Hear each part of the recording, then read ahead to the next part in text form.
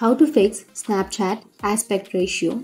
So if you want to fix your Snapchat aspect ratio, then first you need to open up your Snapchat application. Once you've opened, you can go to your profile, which will be on the upper left, and go for settings, which is on the upper right.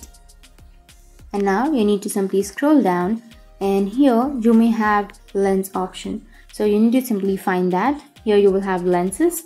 Tap on that and then go for clear local lens data and then you need to clear.